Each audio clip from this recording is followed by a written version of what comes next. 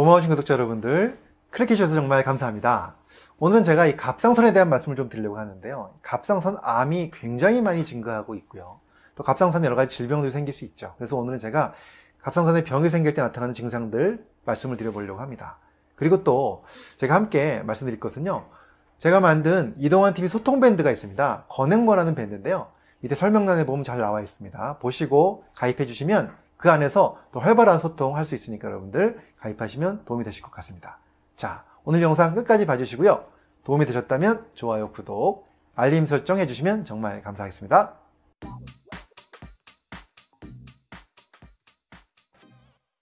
안녕하세요. 교육을 전공한 교육하는 의사, 가정의학과 전문의 이동환입니다. 여러분들 갑상선 많이 알고 계시죠? 사실 이 목, 저 바로 아래에 여기에 나비 모양으로 이렇게 위치하고 있는데요. 크기는 매우 작지만 굉장히 중요한 기관입니다. 바로 여기서 갑상선 호르몬을 분비하기 때문인데요. 이 갑상선 호르몬은 우리 몸 전체에서 신진대사에 꼭 필요한 역할을 하는 거죠. 그래서 체온도 조절하고요. 그 다음에 또 심장 박동이라든가 장운동도 조절하고 여러 가지 꼭 필요한 호르몬이 바로 이 갑상선 호르몬인데요. 근데 이 갑상선에 병이 생기면 이제 호르몬에 문제가 생기는 거죠. 근데 이 병의 종류도 많고 원인도 많고 굉장히 복잡하기 때문에 오늘은 제가 다 말씀드릴 수가 없어서 간단하게 갑상선 기능 항진증 증상과 저하증 증상에 대해서 말씀을 드리고요. 그와 함께 또 갑상선 암에 대한 말씀을 좀 드려보려고 합니다. 자, 일단은 갑상선 기능 항진증, 바로 갑상선 호르몬이 증가되는 거죠. 어떤 증상이 일어날까요? 일단 신진대사가 굉장히 활발하게 들어가기 시작합니다. 그러면 제일 먼저 생기는 증상은 여러 가지가 있겠지만 맥박이 두근두근 두근 뛰어요. 예. 그러니까 굉장히 가슴이 두근거리면서 맥박 그 횟수가 확 증가하게 되고요. 그와 함께 더위를 많이 타면서 더위를 못 참게 되고요. 또 잘 먹는데도 체중이 자꾸 빠집니다. 왜 그럴까요? 바로 신진대사가 너무 증가되어 있어서 그렇습니다. 그래서 살이 자꾸 빠지고 그 다음에 또 배변 횟수도 증가하게 되고요. 그 다음에 몸이 굉장히 피곤해지죠. 그러면서 불안과 초조감도 생길 수가 있습니다. 또 손떨림이 생길 수가 있는데요. 그래서 우리 갑상선 기능 항진증 의심이 되는 환자들이 오시면은 팔을 이렇게 쭉 내밀고 눈을 감고 이렇게 팔을 손가락을 벌려서 보면요. 손가락을 파르르 떠는 분들이 굉장히 많습니다. 이것이 다 갑상선 기능 항진증 증상입니다. 바로 신진대사가 너무 활발하게 일어나는 증상들이죠. 그래서 이런 증상이 있으면 빨리 가서 검사해 보셔야 되고요. 반대로 갑상선 기능 저하증일 경우에는 어떤 증상이 생길까요? 물론 신진대사가 떨어지기 때문에 당연히 피로감이 또 올 수 있고요. 그와 함께 식욕부진. 근데 식욕부진이 오는데도 이상하게 체중을 자꾸 증가하고 부종이 생깁니다. 그리고 추위를 많이 타고요. 그 다음에 변비가 생길 수가 있고요. 그 다음에 피부가 건조해지는 등 여러 가지 증상들이 생길 수가 있죠. 잘 보면 두 가지 증상이 좀 반대로 나타나죠. 항진증은 이렇게 좀 가슴이 두근거리고 살이 빠지고 더위를 많이 타고 반대로 저하증은 살이 찌면서 추위를 많이 타고 또 자꾸 이렇게 부종이 생기고 그런 증상입니다. 그래서 이것들을 보통 평소보다 좀 이런 증상이 생긴다 하면 반드시 빨리 병원 가셔서 검사를 하게 되는데요. 검사하면 일단 혈액 검사를 통해서 이 호르몬 수치를 봅니다. 수치가 너무 올라가 있는지 떨어져 있는지 확인하고요. 그와 함께 또 이것이 왜 생겼는지에 대한 여러 가지 원인에 대한 검사를 하고 대부분은 이제 약물 치료를 하게 되죠. 약물 치료를 통해서 호르몬 수치가 조절이 되면 또 증상들이 호전되기 때문에 빨리빨리 치료를 받으셔야 된다 이 말씀을 드리고요. 자, 그 다음에 말씀드릴 게 바로 갑상선 암인데요. 사실 갑상선 암이 우리나라에서 굉장히 흔한 암으로 알려져 있죠.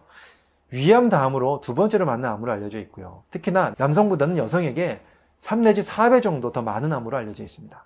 근데 다행히도 초기에 발견하게 되면요. 이 5년 생존율이 99% 거의 완치가 되는 거죠.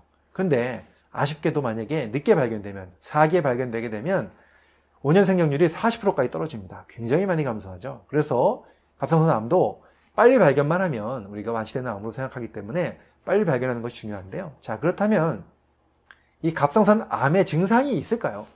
어떤 증상일까요? 자, 솔직히 말씀을 드리면요. 초기에는 증상이 거의 없는 경우가 대부분입니다. 자, 그렇다면 어떻게 발견이 될까요? 대부분은요, 검사를 통해서 발견이 됩니다. 그러니까 검진을 받다 보면 초음파 검사를 하게 되죠. 초음파 검사를 할 때 복부만 초음파하는 것이 아니라 이 갑상선 초음파를 많이 하게 되거든요.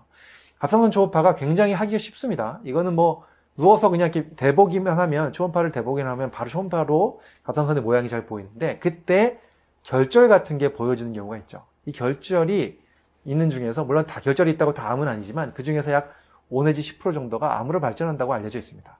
그래서 우리가 초음파 검사를 하다가 결절이 발견되게 되면 반드시 그것을 암으로 발전하는지를 꼭 추적 관찰을 한다든가 또는 더 자세한 검사를 통해서 확인하는 것이 굉장히 중요합니다. 그래서 초음파 검사를 사실은 어, 우리가 일반적인 우리 그 국민건강보험공단에서 해주는 검사에는 초음파 검사가 포함이 안 돼 있잖아요.